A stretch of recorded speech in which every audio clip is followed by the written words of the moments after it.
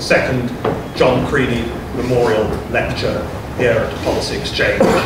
It's a great privilege to be able to commemorate the life of John Creaney, who, as many of you know, was Senior Crown Prosecuting Counsel in Belfast for many years, prosecuted successfully many of the worst terrorists of the Troubles from the time of the original Malvern Street murders of 1966 by the UVF that uh, many think kicked off the, spate of troubles from the 1970s through to the 1990s and ending with the first Al-Qaeda trial in Belfast in 2005. Tonight's lecture to commemorate John, which is always a joy, and who was a great friend both of mine and of Policy Exchange, takes place, however, under a certain shadow. We were looking forward tonight to welcoming the Creaney family, his widow Evelyn, and uh, his middle daughter Hazel, and her husband Ted McMullen. Tragically, over the weekend, Hazel McMullen drowned in Mallorca and uh, is no longer with us. And uh, I, of course, consulted with the family, with Evelyn Creaney in particular, and the entire Creaney family were determined that this evening, in memory of John, should go ahead. We're, however, delighted that the family should be represented here tonight by uh, Lord Kerr of Tonaghmore, Justice of the Supreme Court, formerly Lord Chief Justice of Northern Ireland, and John Creaney's star pupil at the Northern Ireland Bar. Please join me in thanking uh, the Creaney family and in commemorating them, and I know that I will wish your uh, good uh, wishes uh, to them, and I know they will be greatly heartened by your solidarity and support at this time. Thank you.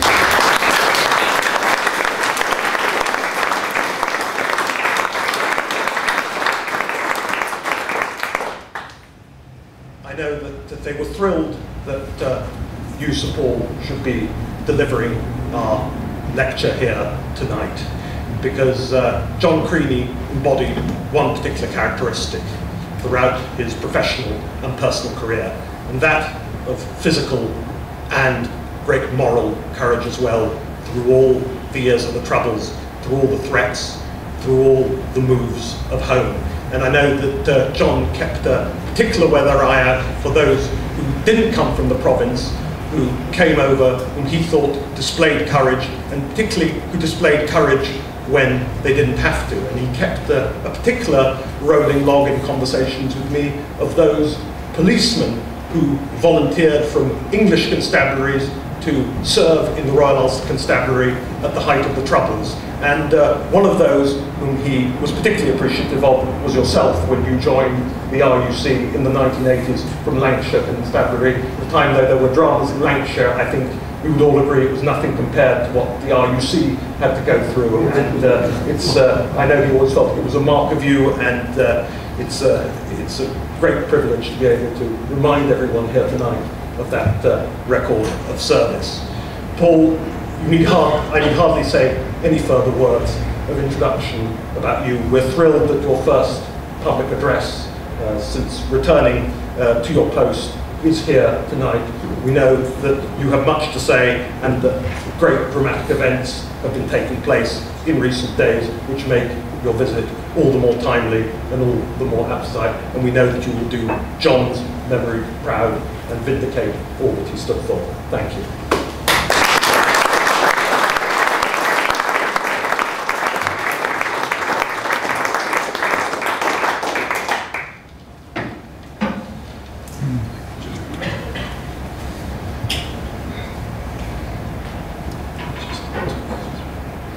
Well, thank you for that introduction, Dean, and good evening, ladies and gentlemen, and uh, a thank you to Policy Exchange uh, for inviting me here to speak tonight, and I'm delighted to deliver this, the second Creaney Memorial Lecture.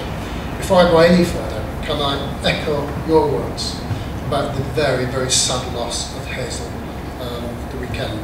I understand it would have been her intention to attend this memorial lecture, uh, and I would join with you, and I'm sure we all join together in our deepest sympathies at what is the most difficult of times.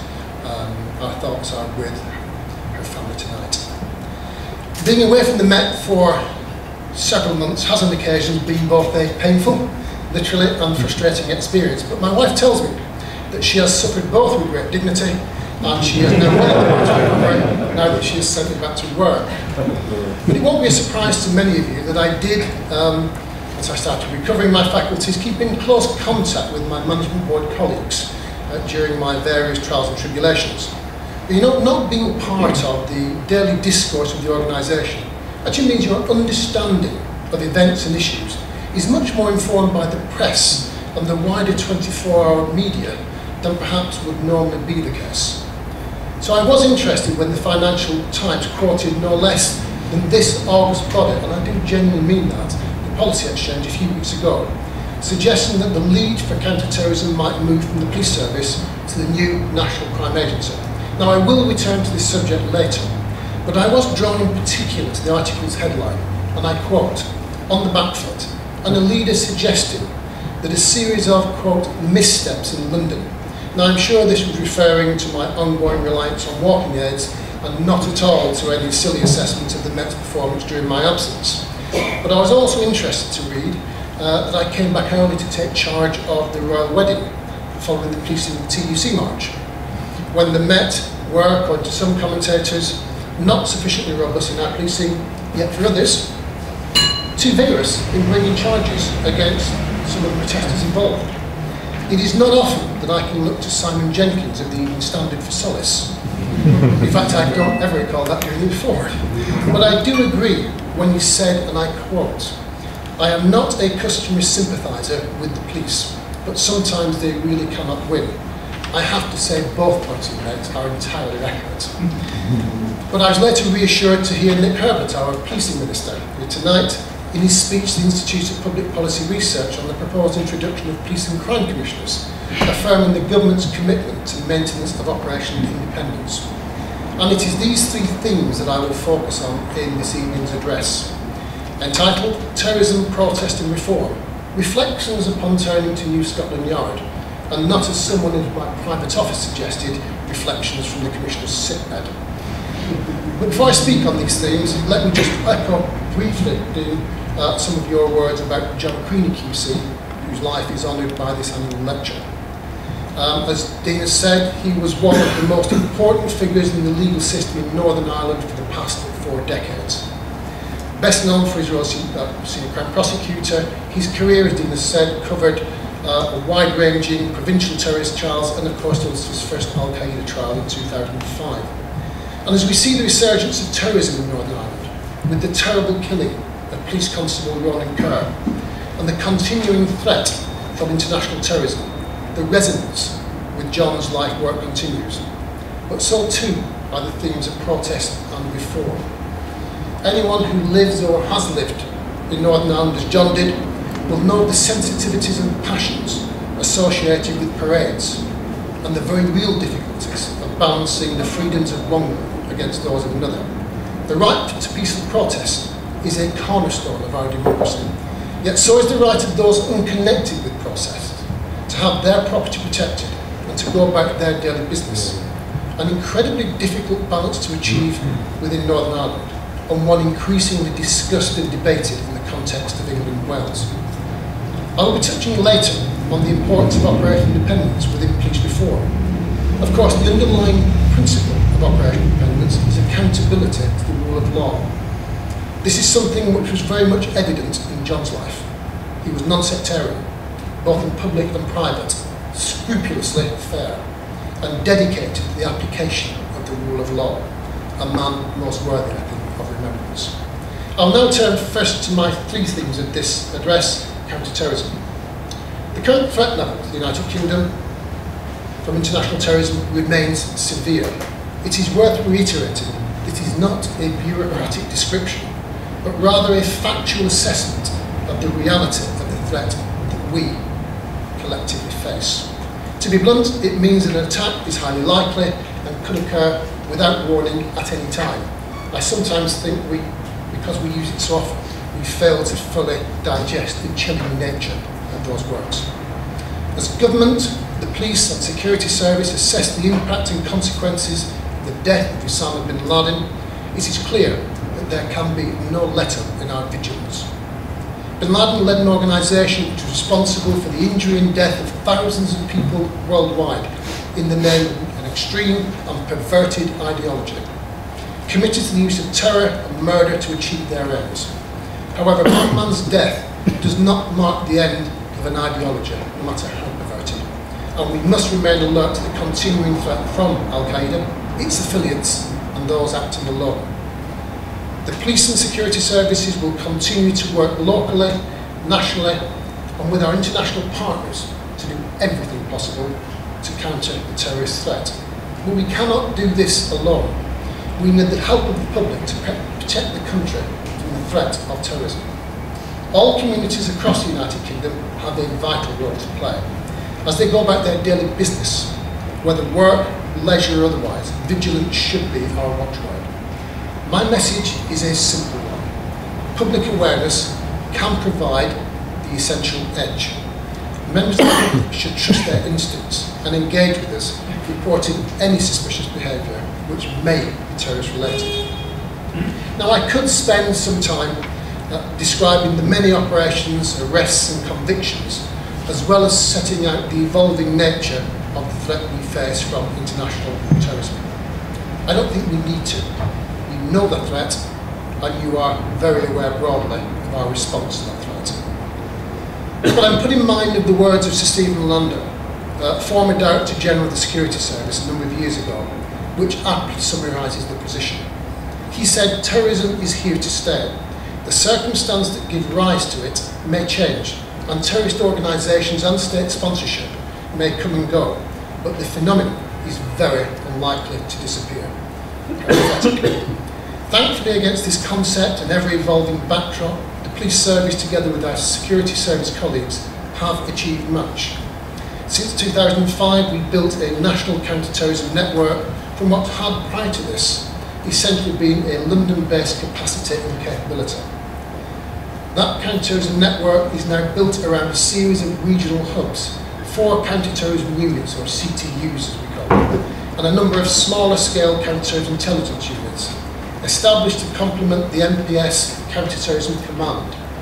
Working to common structures, standards and procedures, they're overseen by my Assistant Commissioner of Special Operations and delivered by a Police Senior National Coordinator, who can and does direct and control investigations in the event of a national counter-terrorist incident. But this is a developing structure, one which has been constructed on a 43 police force model, with all the tensions and complexities which that bring and against the backdrop of unprecedented terrorist activity. So it is not surprising further refinement is necessary. This is understood and is being undertaken. Most recently, the police service has led some very necessary reform of the centralised function of what we call ACPO TAM, or to give it its full title, ACPO's Terrorism and Allied Matters Committee. My, we do like our titles. This has seen streamlining of processes to bring operational functions under proper governance arrangements. Most notably the National Public Order Intelligence Unit, now renamed the National Domestic Extremism Unit, which now comes under the direct control of the Met and coordinates governance. They have also distributed portfolio leads by four work streams of the counter-terrorist strategy context contest to each of the CTU vice chairs, all chief constables of their own respective forces, not only increasing the stake in counter-terrorism across forces, but also reducing the size of centralised functions under what I've just referred to as TAM. The formation of this counter-terrorism network has taken considerable time, effort and frankly sweat to develop. And yes, I do believe there is still further work necessary. But we now have in place a structure that does work well and has seen real success, a point government, quite rightly in my view, recognised in their consultation document, Policing in the 21st Century. I believe there are a number of factors which contribute to this progress. Officially, the counter-terrorism network remains very much an integral part of policing. Officers and staff are drawn from the local police areas into their regional units. The officers have local knowledge, they understand their communities, and there is a two-way flow of intelligence and information linking all aspects of policing with counter-terrorism. the community officer on foot patrol in their neighbourhood, traffic officer dealing with speeding, the detective undertaking a search for suspect's house can all be linked to their regional counter-terrorism hub, conduits for information intelligence and part of our national counter-terrorism policing response. There is a second linked point, the golden thread of policing, which connects local communities and a myriad of local partners through the policing arrangements I have described to the national and international structures. It is policing that uniquely provides this essential conduit. The counter-terrorism network's relationships with the 43 forces and colleagues north of the border is now well understood.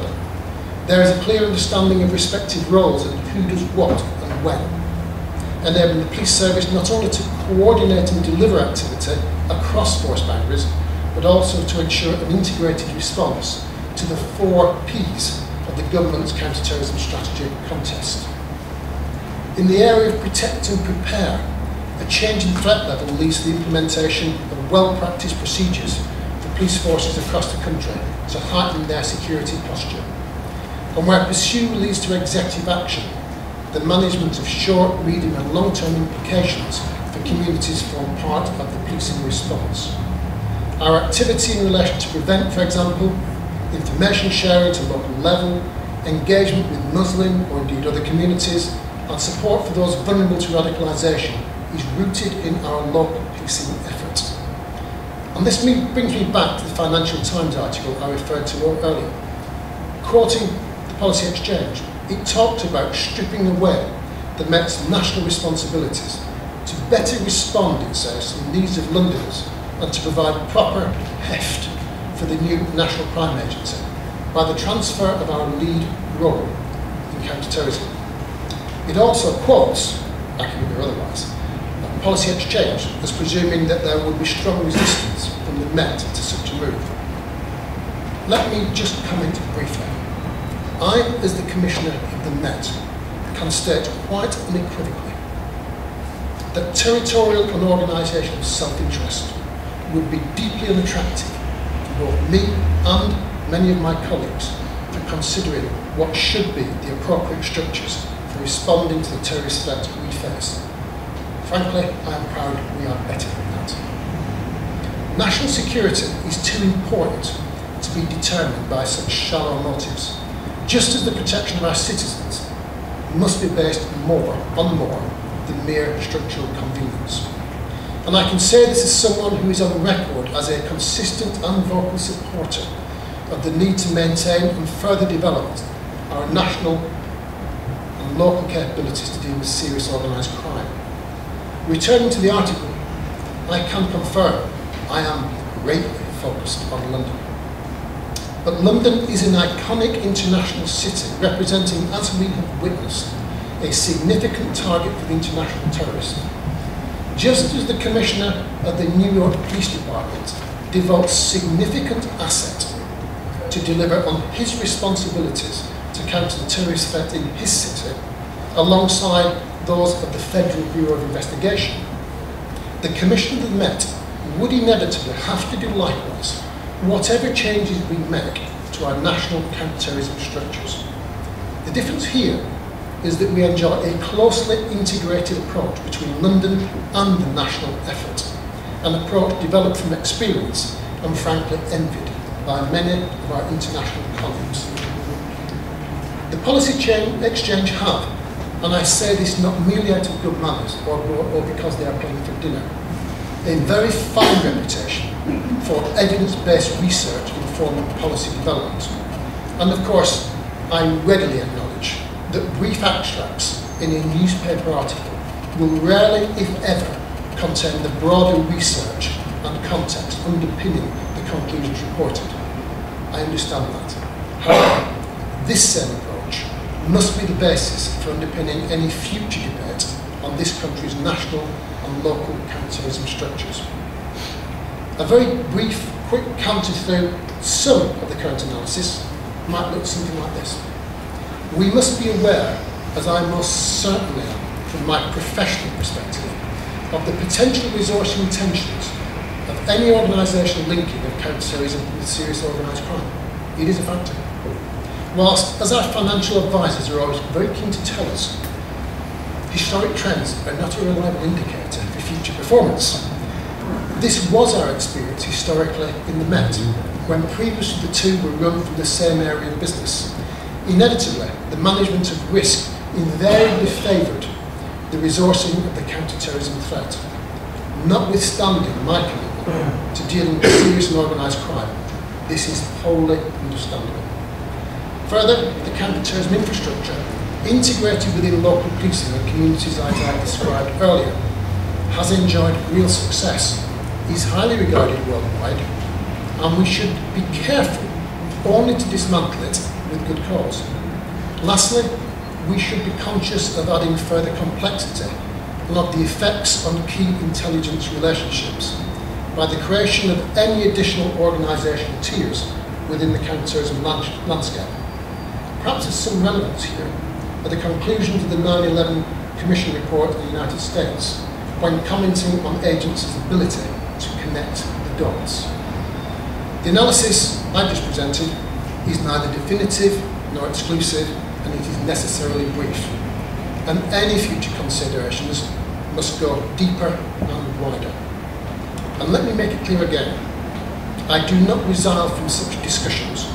They are important, we must have them. On the positioning of our counter-terrorism effort, it must be kept under review. The subject is far too important for localism and parochialism. But it is critically important those discussions are timely that we avoid any unnecessary distractions as we both prepare for the Olympics and maintain our current level of operational activity, and that any conclusions are drawn on the best analysis available and experience. And I have to say, from discussions I have enjoyed with the Home Secretary recently on this matter, I'm entirely comfortable with her position on this matter. Now let me turn to my second protest may be an irony that the Commissioner of the Metropolis sets the scene for this part of his speech by quoting Shami Chakrabarti, the Director of Liberty. So perhaps this is where I refer to my recent medical problems and pray in aid the after effects of excessive pain relief medication. but to be fair to Shami, in Liberty's report on the recent TUC march, she stated, there is no such thing as a risk-free society, especially a free society that guarantees rights of association and peaceful dissent. Let me develop two things from this quote.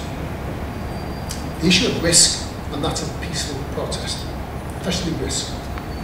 When we consider this, it is worth stating that the Met does have a wealth of experience in public order policing. In any one year, we typically deal with some 4,500 public events varying size and scale. In the vast majority of these, we're able to facilitate peaceful protest, which is crime-free, without incident, has minimal impact on those not involved, and allows London largely to operate freely and normally. And of course, these pass unreported by the media, and the armchair pundits will certainly not gain any airtime or fill newspaper commenting on these. And I have to say, whilst this is not the time to comment in detail on the disturbing and very sad death of Ian Tomlinson. I would like to take this opportunity to endorse the words of my Deputy Assistant Commissioner, Ross Fitzpatrick. It is a matter of deep regret that the actions of a Metropolitan Police Service officer have been found to have caused the death of a member of the public. That officer will now be subject to misconduct proceedings and I believe the Director of Public Prosecutions has made clear his intention future. Return to my theme. I would add that we have, over the last number of years, and I think for good and valid reasons, sought to reduce our commitment of resources to protests, to better make officers available in our streets, in our neighbourhoods, and investigating crime and criminals. It's what the public wants. And we've been able to do that, as we have seen almost a decade where we haven't seen violent protests within uh, demonstrations. And of course, it is worth remembering that policing large-scale events is hugely resource intensive. The largest Notting Hill Carnival, G20, the Royal Wedding, TUC March have involved upwards of some 5,000 officers, give or take. Let me put this into perspective. The Met has in excess of some 32,000 officers. So to police one protest of this sort of scale, we needed some 16% of my officer strength. If I were to factor in the large number of officers engaged in shift work, because we are a 24-7 business, and those working in necessary specialisms, the, the real percentage of abstraction from our neighbourhoods, from walking the streets, from responding, would be far greater. Of course, we have, in recent times, witnessed a significant change in the mood of protest, with a re-emergence of violent elements using the legitimacy of peaceful protest as a cloak of protection to commit acts of violence, damage and disorder. Determination of resources to police such events can never be a precise science. And there is a risk of getting this wrong, as frankly we did last year when we saw the wholly unacceptable disorder at Millbank. I was, you may recall, quick to publicly acknowledge as much on that day. But as we now assign larger numbers of police officers to protect public safety, to respond to violence as a contingency against disorder, this significantly impacts upon the resources available for London. Unfortunately, officers deployed to police protests don't come solely from a box marked public order policing. The vast majority are drawn from boroughs and other commands vital positions across London. They are the officers who respond to treble nine calls, investigate burglary, motor vehicle and other crimes. And whilst we do everything possible to limit abstractions from this particular area, they can also be neighbourhood police officers. My borough commanders are telling me that local communities are noting the impact the increasing abstractions from public order policing are having. But returning to protests, and my second thing from Shami's quote, It was HMIC's report on the policing uh, of G20, adapting to protest, that sought to challenge our thinking on the application of human rights, and in particular Articles 9, 10 and 11, which collectively cover the right to protest. In that report, Sir Denis O'Connor, here tonight, advised that our starting point should be in favour of facilitating peaceful assembly and that we must consider the legality of the conduct and actions of individual protesters rather than consider the protest as a whole and respond to specific criminal offences committed and use police powers to deal with those offences. This creates a challenge, coined by HMIC as the policing dilemma. How to achieve the balance between the rights of protesters, well enshrined in English law, with the duty of the police to prevent breaches of the peace, prevent and detect crime, and protect life and property, as well important as allowing those unconnected with an event to go about their business. And I do believe, I would say this, that we have enjoyed some real success in resolving that very difficult policing dilemma in some of the most challenging environments. In this regard, it is useful to look at the recent TUC march. Let's remind ourselves of the scale of the challenge. Largest protest in London since 2003, with estimates of some half a million taking part, some 4,500 plus police officers deployed, and the presence of groups who, who would use the march as a cover for violence. Disappointingly, and perhaps in the age of 24-7 media, not, not surprisingly, much of the reporting focused on the actions of those who used the cover of the march to achieve their criminal intentions. Breaking away, rejoining, changing clothing, and an array of other tactics to avoid identification, as opposed to the overwhelmingly successful elements of the day. And we did see acts of violence of varying nature by a significant number of people. For sure, a minority, but a significant number of people. At the Ritz, on Oxford Street, and later in Trafalgar Square, where wanton disorder continued into the early hours. Let me touch on some of the associated issues. Firstly, we should not romanticise the actions of protesters who occupy or damage premises, preventing their legitimate use and intimidating them to the public, workers and indeed owners. It should not be a surprise when the police enforce legislation passed by Parliament to protect those premises.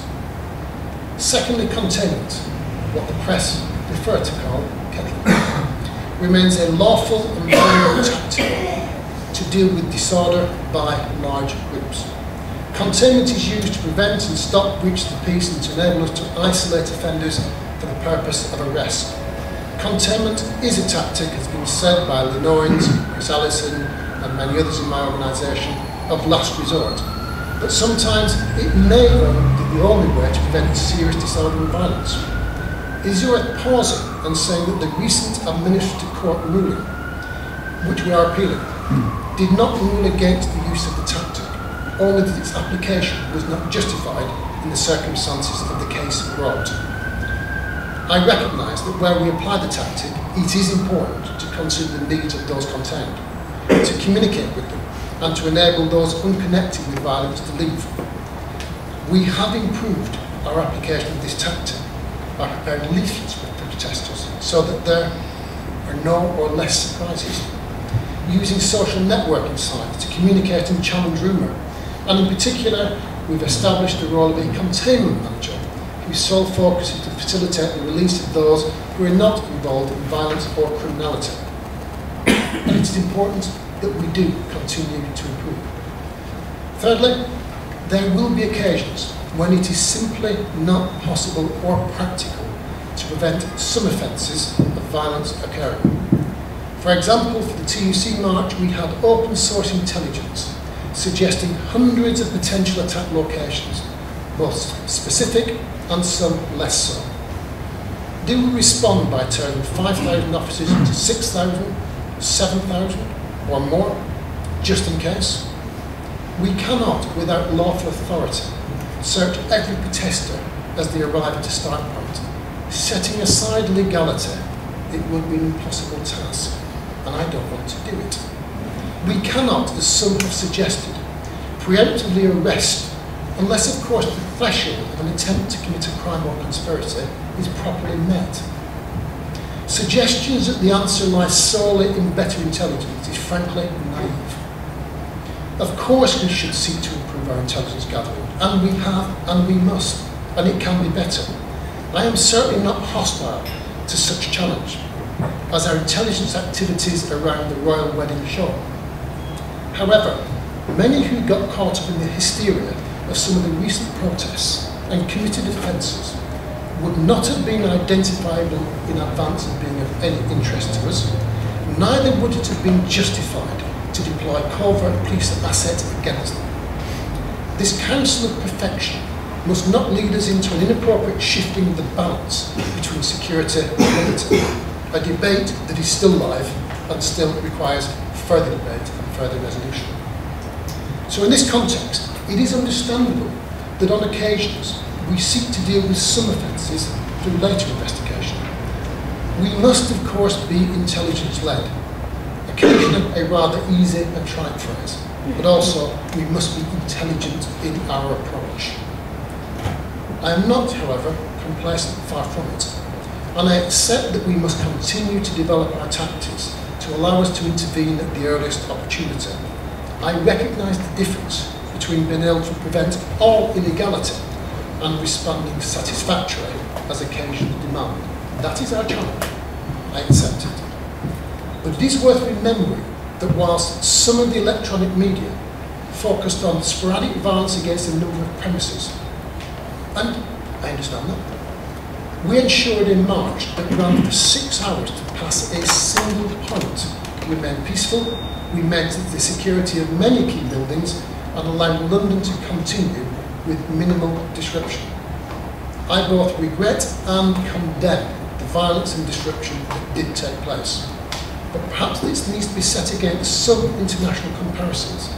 For example, in Greece or France, where we've protests involving buildings and cars being set alight way beyond we have experienced, thankfully. Petrol bombs thrown and cities brought to a standstill. I wonder which would appear to the more successful policing approach. As someone who's who observed this event from his home rather than New Scotland Yard, which I have to say in itself was an extraordinarily frustrating experience, you would expect me to say I was a little disappointed the level of balance in some of the public debate. I have been around policing long enough to expect what in America I believe are referred to Monday morning quarterbacks to use the benefit of hindsight to articulate a perfect policing operation, even if drawn from the memory of events in their day that perhaps only they alone recognise. But am I alone in wondering whether the array of reports and recommendations on protests, the 24-7 media reporting, that quite naturally replays the same section of footage over and over again, giving an impression of sustained rather than sporadic violence, as bad as that is. Mm. And the demands for additional laws by some commentators, with others bemoaning the loss of liberty, has created a somewhat confused debate. Returning to Sir Denis's report, he quite properly highlighted the importance of focusing on peaceful protest. However, although it is clear that in a democratic society some level of disruption is to be expected from the exercise of freedom of speech and assembly, we must also take into account the impact on the rights of others who are affected by that protest. And I wonder whether, with the benefit of hindsight, both in the ensuing public and professional debate, we have lost the sense and importance of society's right to expect individuals to behave lawfully. We do that, I think, at our peril. We should always strive to be better, and I do fully accept that challenge. I believe this applies to all aspects of policing and indeed all aspects of public life. However, the narrative of perfection is damaging, false, and ignores the reality of public order, or public order policing. Throughout my 36 years of policing, I have been a passionate supporter and a passionate promoter of my belief and of general belief that the role of the police is to save life, prevent crime, detect crime, and maintain the of peace. This applies to protests as it does to all aspects of policing. But we can only achieve this with the consent of our communities. Policing by consent is the bedrock of our policing model. Let us not erode that consent for the opportunity for soundbite, or to suggest that protests on the scale that we have recently perceived, and with elements intending causing violence, can always be incident-free. This is not about a commissioner providing excuses. This is about let's a realistic debate. And I do think Shami Chakrabarti and Simon Jenkins' analysis perhaps provides some of the balance that has been a little absent in some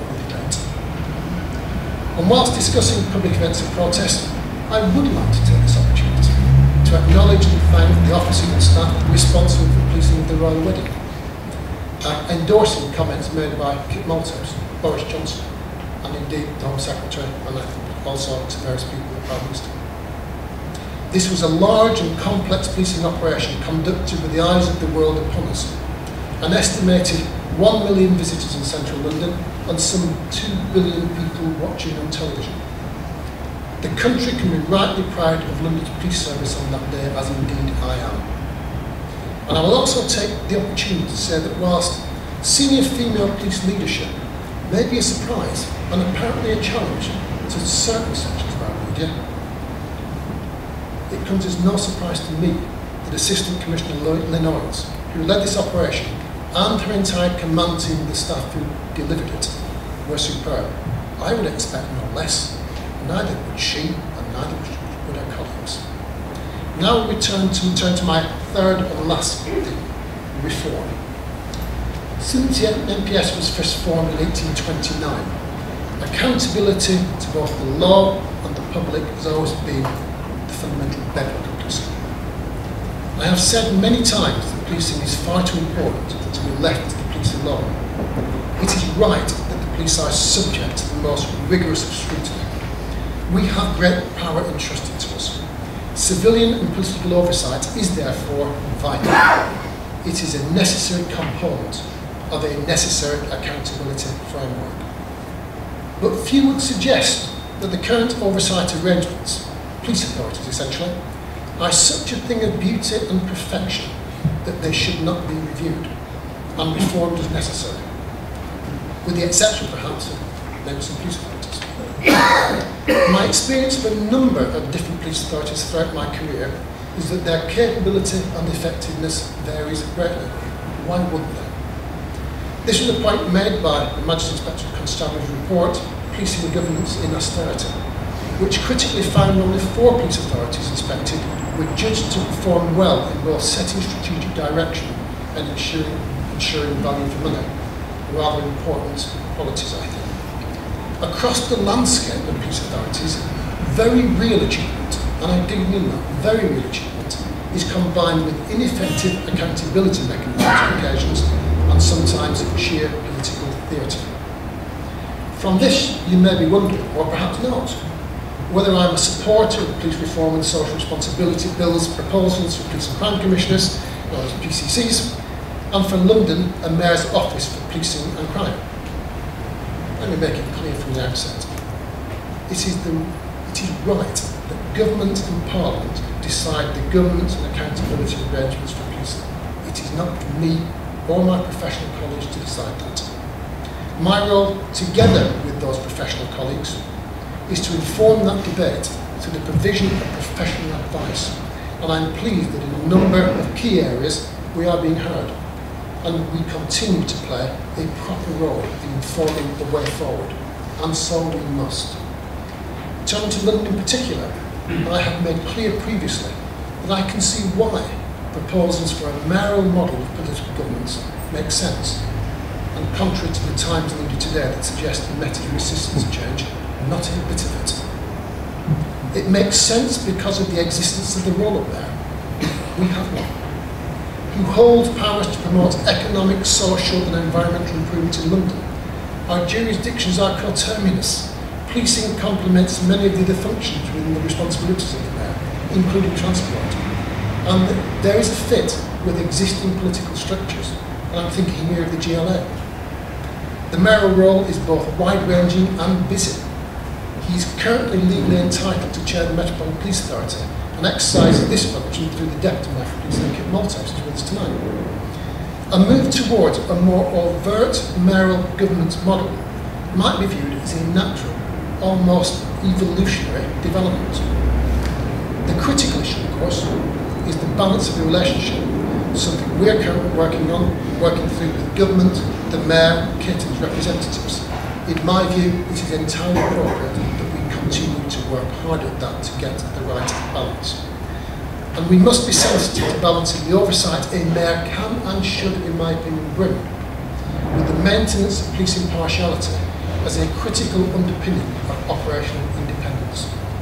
Outside London, the reforms are clearly going to bring different challenges, particularly where there is not the same content of the mayor, the coterminosity, or indeed political structures ministers may wish to examine the potential for a wider role for the PCC, recognising the opportunities to improve local crime and disorder arrangements in the round, out with the Chief Officer's responsibilities for delivering policing services against set strategic and policing priorities.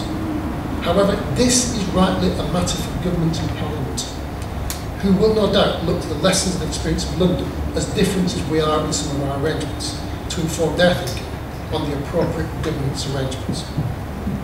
Regardless of the accountability in government structures, the fundamental issue for me is operational independence, which ensures non-partisanship of the police and the rule of law. But let me say, I am pleased that the importance of operational independence is recognised in the Police Reform and Social Responsibility Bill currently being debated in the House of Lords. It will of course be important to ensure this commitment is underwritten by the checks and balances of supporting processes, and that's part of ongoing discourse.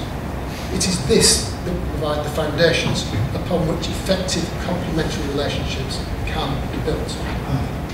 On my experience of in, on a number of occasions in the past, trying to get agreement between 43 chief constables positions me well, I think, to urge that the intentions of ministers on such critical matters are not left to the vagueness and unpredictability of 43 different interpretations by PCCs as to the meaning of operational independence. I repeat what I've said before. It is properly the right and duty of politicians to establish the overarching framework within which policing operates, to sit with us and inform our priorities, to help us to ensure we have the logistics and resources to deliver them, that public money is spent wisely and appropriately, and then to hold us to account for the delivery against all of that.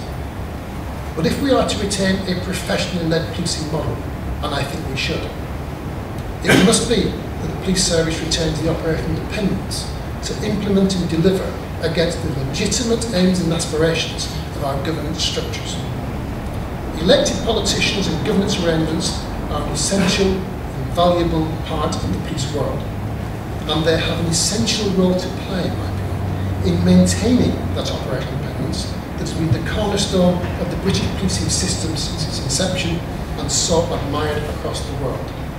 As Peel, one of the founding fathers of British policing and the Met said, Police seek and preserve public favour, not by catering to public opinion, but by constantly demonstrating absolute impartial service to the law.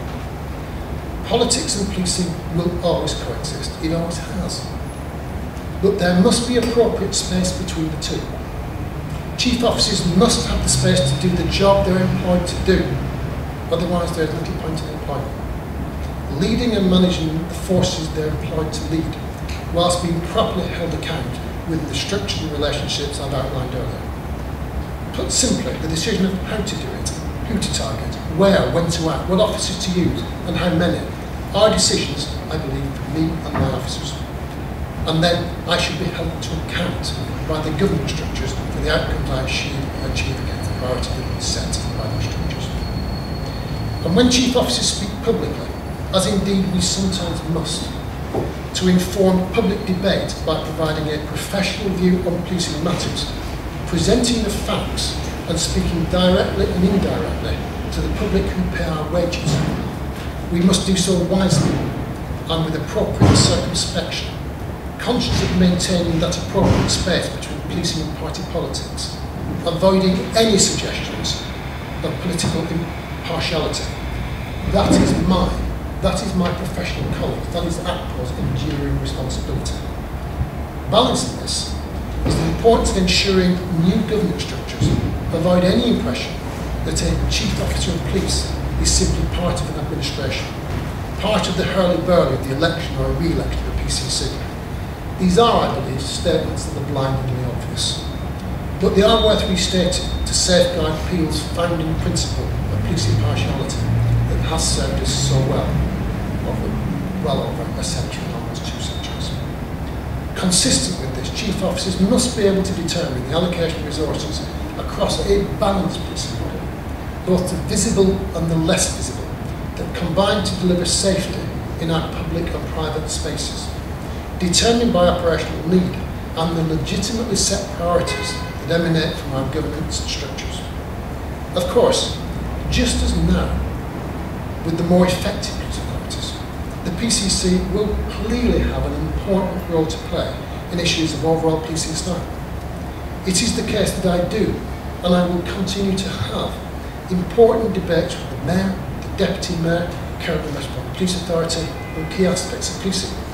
But I think we are all clear that this is not and must not be at the expense of operational independence and impartiality.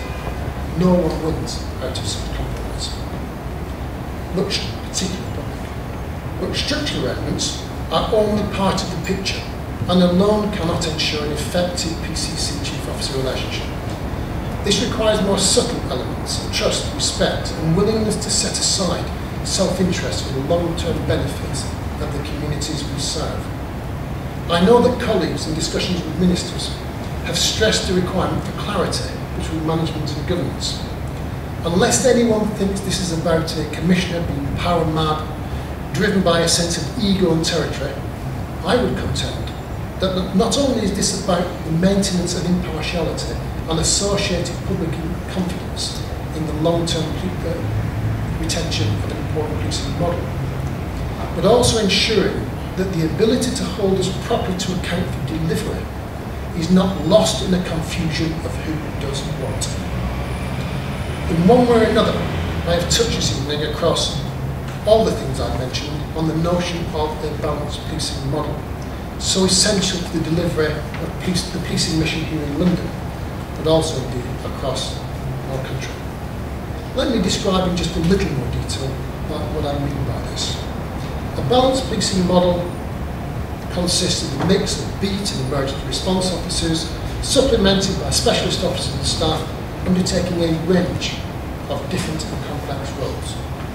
This includes counter-terrorism, public order, policing elements such as road policing, serious organised crime, firearms and other sometimes invisible parts of policing, all necessary to keep us, our communities and families safe. In the field of homicide, means the beat officer gathering community intelligence about a recent murder, supported by a team of detectives, forensic scientists, and analysts, surveillance officers, and occasionally firearms officers, working behind the scenes and sometimes visibly to solve the crime and reduce the risk. In the field of counter-terrorist policing, it looks like a beat officer patrolling their patch, building community confidence, alert to signs that may suggest terrorist activity, balanced by the less visible but specialist colleagues leading counter-terrorism investigations and sharing intelligence regionally, nationally and internationally with partner agencies here and abroad. Maintaining this balanced policing model will be challenging in the current fiscal climate, we know that. PCCs must play their part in supporting their chief officer. They will need wisdom and care to ensure that the operational capability, already too thin in many areas, such as serious and organised crime, is maintained. So in discussion with ministers, I do support the development of a strategic policing requirement, which whilst not so uh, prescriptive that it stifles local creativity and accountability, has sufficient weight to properly balance the visible with the necessary but less visible aspects of effective policing services, both within their local domain and beyond. This balanced model must value each of these necessary roles, but no one should misunderstand my commitment to visible local policing. I passionately support what I refer to as the uniform governance of our streets with officers patrolling our neighbourhoods and responding to local crime and antisocial behaviour concerns, feeling a sense of ownership of our public spaces on behalf of the communities they serve. This is why it was the Metropolitan Police Service, along with colleagues nationally, and actually along with Sir Denis O'Connor, who's here tonight, created and developed a safer neighbourhood teams, so valued by our communities a goodly number of years ago, demonstrably contributed to increased local confidence in playing their part in reductions of recorded crime. Here in London, I am very grateful for the continued support and commitment of the Mayor and his recognition of the successes we have seen through our commitment to neighbourhood policing. But my commitment to uniform governance of the streets goes beyond safer neighbourhood teams. I've introduced single patrol as a default deployment position for uniformed staff, effectively creating a large number of additional patrols daily. We've also mounted a sustained drive here in London to increase the number of special constables with the support of the Mayor, now sitting at just under 5,000, providing further uniform resources to support local visible policing. But the balanced policing model I have set out cannot be adequately described by frequently used terms, in my opinion, such as frontline, front office, middle office, and so on. HMIC's recent report, Demanding Time, the frontline and police visibility, suggests only 12% of police resources are visible and available to the public. Just the figure published last year was 11%. Of course, any such, simplistic extract of figures fails to capture the wider context and intention of such reports. Nevertheless, these figures have not unsurprisingly been seized upon by media and politicians alike and I genuinely would say, why shouldn't they? These are figures put in the public domain by the profession in an attempt to publicly inform. However, in some respects, I believe it has achieved the opposite, creating a level of confusion and misunderstanding. I think it fails to take account, and such simplistic extracts fail to take account of the balanced policing model, shift working, a myriad of various police resources, some visible, others less so, present in our communities at any one time, protecting the public from the threats they face. Whilst these statistics can be rightly challenged on a number of levels, I will simply pose the following questions perspective. Would the family of a murder victim view the homicide detective as being any less visible than a uniformed colleague? Is a sexual offences officer any less visible to a victim of rape? the officer working on a computer interrogating chat rooms to identify and target the paedophile using the anonymity of cyberspace, to groom the unsuspecting and the vulnerable, which thankfully leads to the early morning dawn raid. Is that officer any less available to the victims he or she serves? The argument goes that there is too much emphasis on the visible and available, and it, that this focuses too much on the inputs, whilst ignoring effectiveness, quality of service, and delivery outcomes. That was never the intention, and I'm not using apologies for to myself. That was never the intention. But I fear it is worse than this. The extraction of those figures without context fails to present the full breadth of what is truly visible and available. Put simply, I am frustrated by the oversimplification of the policing mission that the use of such language can lead. And I don't blame others for using them. It is for us in the profession, myself and colleagues in ACPO, to ensure that we articulate the balanced policing model that properly represents what is visible and is available to the public. We should be using language which actually identifies what adds value for our communities and which victims of crime regrettably have reason to depend upon. As passionate as I am about uniform response in street patrol, we must not be seduced by an argument that says everything in uniform or fits some definition of frontline is both good and invaluable, whilst everyone else is an efficiency saving waiting to be realised. Can we improve what police resources are truly available to serve the public? Of course we can, and indeed we must. We have no choice in the challenging financial times ahead. That is our responsibility, that is our challenge. But police leadership must be better at articulating what our colleagues actually do. We owe that to the people we lead and the public we serve. To close where I began, and to use the phrase of colleagues in my private office, reflections from my sickbed. As a recent patient in the Manchester Royal Infirmary, I received first class NHS treatment. Out of my comfort zone in every sense. During my period of, period of residency, I had the time to reflect upon what was important to me as a patient. I concluded three things were required. Competence, save life. I'm working in my place, my case, save my leg. Secondly, to make one feel safe. And then, of course, thirdly, to make one feel cared for. So I got all these in abundance is a very real understatement. Whilst I lead a very different profession, the parallels with the police service are clear. Any definition of policing, and certainly the three themes of tonight's address, would have very little difficulty in incorporating the words competence, safety and care in any mission statement. Thank you.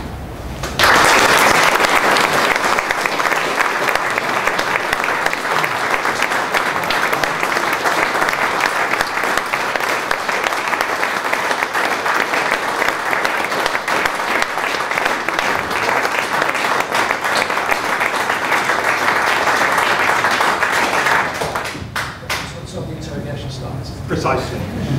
So Paul very generously agreed to submit to said interrogation. So uh, if I can see any hands going up, as usual, house rules, no question too outrageous, just you have to state your name and organisation. Who has any questions? Gentleman there. Uh, Philip Johnson from the Daily Telegraph. Um, do you think it would be a good idea to pilot some of these reports to use about contract? Absolutely. I sort of, I I recognise your invitation to enter in a political debate that's been taking place in the House of Lords. I declined that, that invitation. the, the reality is that my job is to get on with ensuring I inform government and ministers on, on their proposals, their legitimate proposals, that's what I'm doing with colleagues, and then get on as they implement them in making sure they work here in London. Um, actually, in a funny old way, I do think that whatever happens in London, and I would say this, I work in London, that others will look and seek to follow if we get it right. And that's the important debate. Uh, frankly, the debate on power to otherwise is a matter for the Minister, the House of Lords, and various other politicians. But thank you for the invite, Philip. I'm very grateful. Lord Maginnis, a question of under one minute. I don't know why you're always so suspicious. Uh, Thank you, Commissioner, for a, a, a very interesting and very broad uh, delivery in, in terms of the work you do.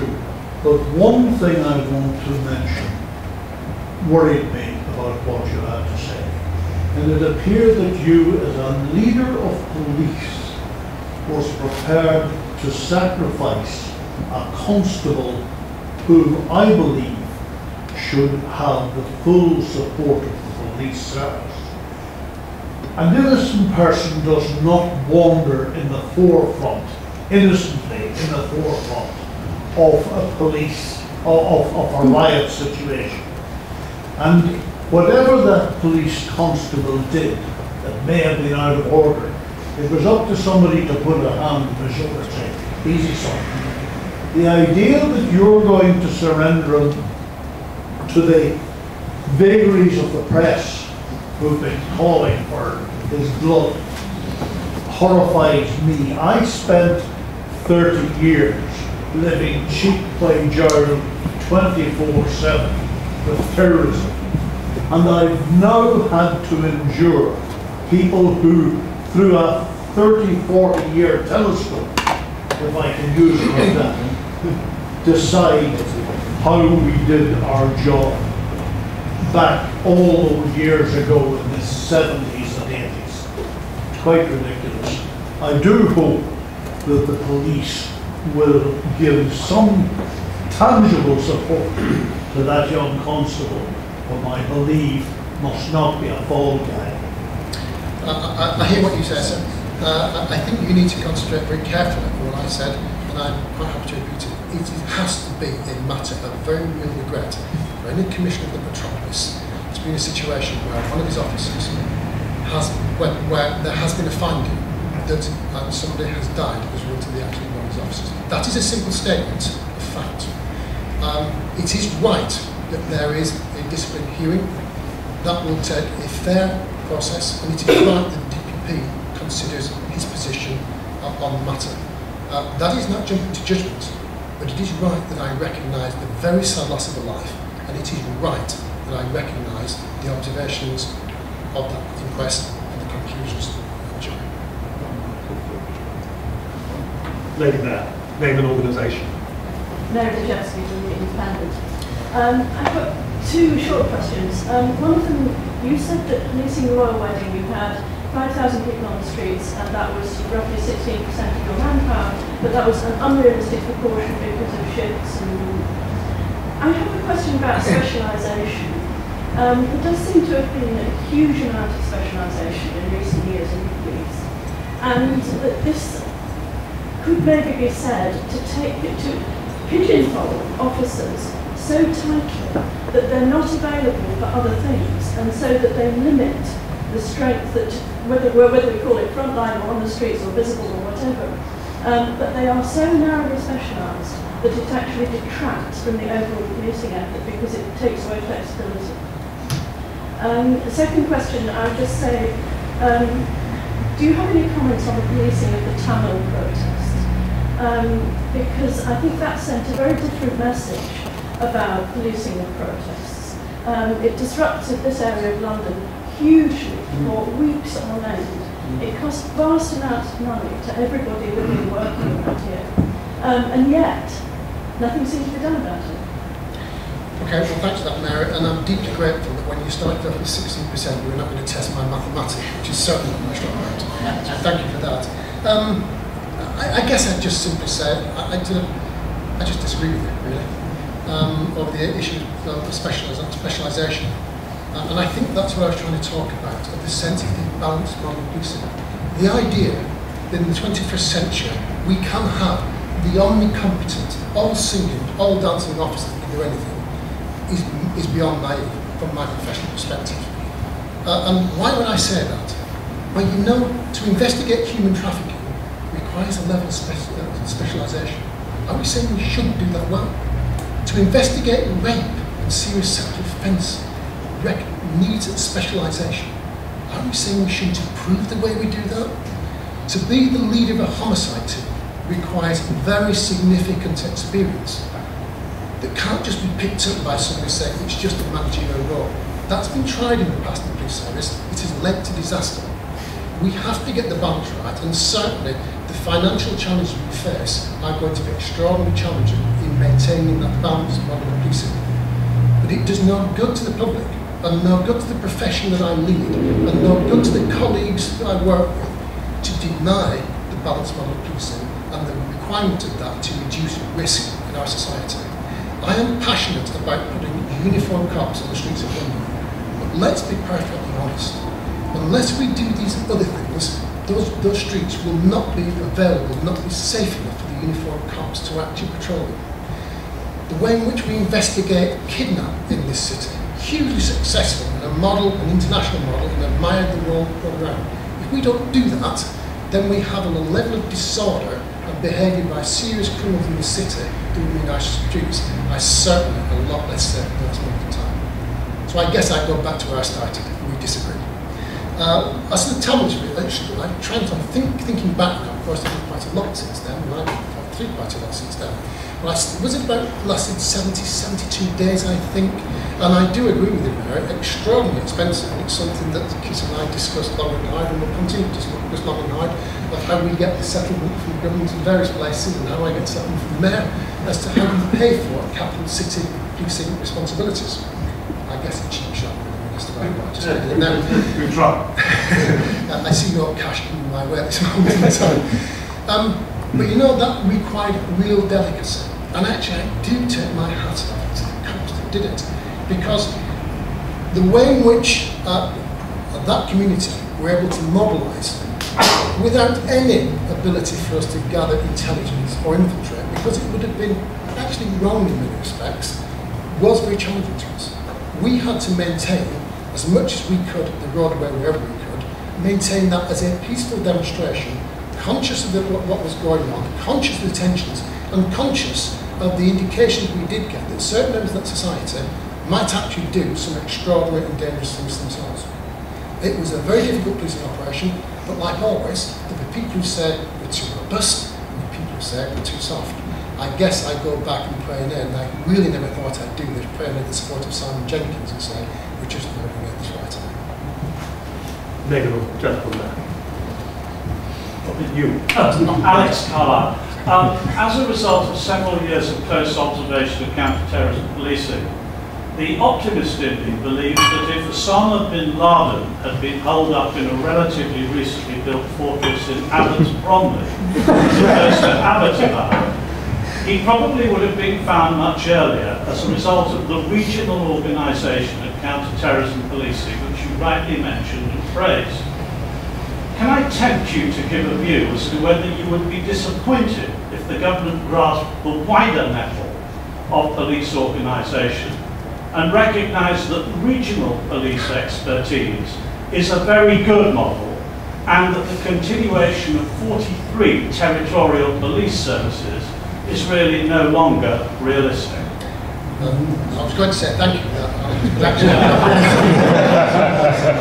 um, uh, firstly, I'd like to agree with you. I would like to think that we would. That's your first point. Secondly, uh, and I think you know very well, uh, that I cannot respond to that without saying, of course, it has been my position uh, for many, many years and led the debate in policing that we actually do need to restructure uh, the basis uh, for peace force in this country. I've held that view for a long time. It is not a view that currently has popularity, and it is simply not going to happen. That doesn't alter my view that at some stage in the future I think that will be a necessary and rational thing to do.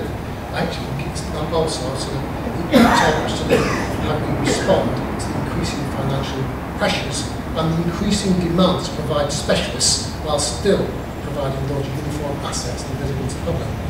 Um, but I've got to work within the realms of the current situation and it is for government and parliament to decide the structure of policing. I will continue to advise and behave responsibly for the advice and accept the reality of the current situation and get on with it as far as I can. But I do agree that there is a need to keep in view longer term reforms that could be necessary to, and, and beneficial to the structural prison. I think I just about managed to, to do that. Gentleman there, name look. Uh, John Chilcot, um, long retired addresses up and down Whitehall. Um, you mentioned in the course of your extremely interesting address the need for both maintaining and clarifying the concept of operational independence. And I recall the, the official Ministry of Crown Home Office um, that the, the notion of operational independence is attached to the status and role of the individual constable, the ministerial officer of the crown. Is there a need in the modern day, with vast aggregates of organised policing, led from very high levels, to redefine or reassert the operational independence of the individual constable? Well, of course, so part of me is tempted to say yes, but that immediately challenges my capability of commanding an organisation of some 50 odd thousand people and 32,000 plus cops, all of whom would then say, well, I'm independent, you know where you can go. Um, but, but there is a need for us to uh, sometimes go back to the past a little. There is a need for us to ensure that we value where we came from. There's a need for us to recognise the wisdom that Peel's and founding principles. And Operation Independence can sometimes sound like uh, senior police officers just want to keep our cake. Nobody else gets a bite of it, and actually it's about retaining our power. It isn't. I think it's critical about impartiality. And I do think the public strongly value the impartiality of the police. They will forgive us many sins. They will forgive us many mistakes, but I don't think they'll ever forgive us for becoming politically impartial. And actually that's my responsibility to ensure that we never sound that way, appear that way. The government structure should also always recognise that. Is there a need for us to better define that on the individual constable? Uh, perhaps, but of course, in the current discussion, there have been many exchanges that say, should we try and de- define independence of law?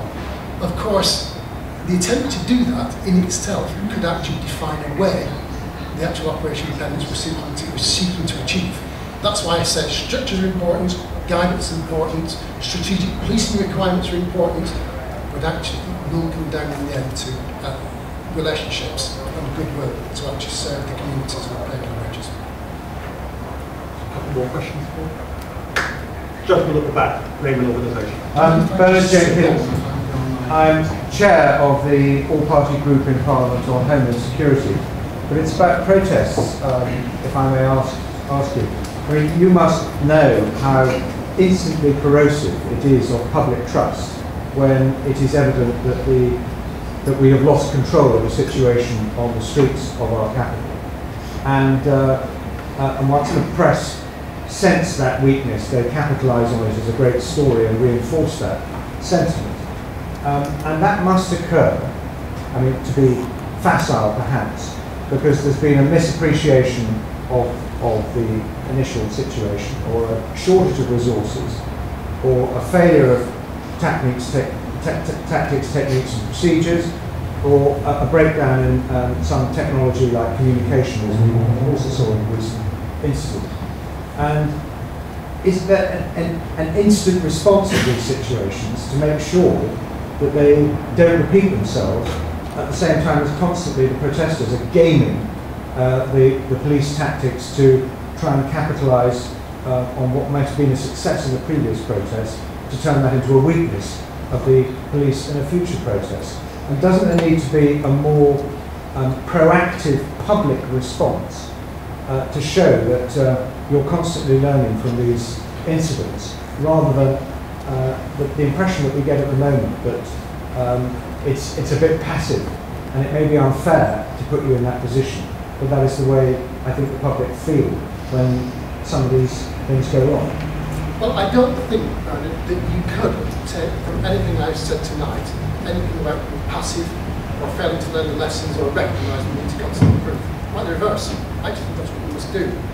Neither should you make the mistake about thinking that we will resile from actually acknowledging when we do make mistakes. An organisation of public bodies that refuse to acknowledge that sometimes that is inevitable, actual organisations will demonstrate that they are unwilling to learn. The very fact that we did that, particularly around the, the, that dreadful invasion of the party of Qantas and our response, uh, we came out quickly and said, we got it wrong and why, I think is about an organisation that is willing to learn and is willing to actually implement things differently next time.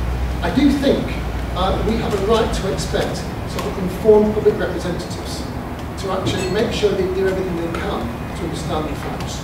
And I do think uh, that we have a right to expect some sort of intelligent appreciation of what we tried to do over the previous decade when there wasn't that level of public disorder. uh, to reduce the commitment we made of asset to policing public order in London and to actually, for, our communities to feel the benefits by redeploying those officers more consistently on the streets. Uh, but I, made a lot about it. Uh, we got we got a call that day, and it was all wrong, and we properly got chastised by, by, by media, by politicians, by the press, by. We got it wrong.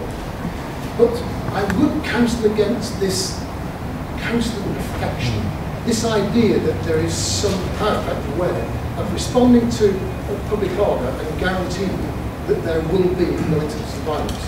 Because if that's the case, I don't recollect it in all of my 36 years of policing. I don't recollect, and this is not about making excuses, I don't recollect any previous commissioner managing to ensure that that level of disorder, where people are intent on breaking disorder, didn't take part on the streets. The issue is how do we respond to it, how do we know? And I would counsel against this idea that there is some sort of nirvana, perfect intelligent framework that will mean that we can predict all these things in advance. It is undoubtedly the case that some of the people who committed offences will be charged, got caught with hysteria, and would not have had uh, sort of come to our attention, nor, nor legitimately should we be looking at them in advance of those events. And one's almost tempted, it's a little flippant, I think, to say there's, a, there's almost an encouragement sometimes to say sort of anybody with a, a pair of dirty trainers should be designated anarchist. I know that's not what you say. Or in a balaclava?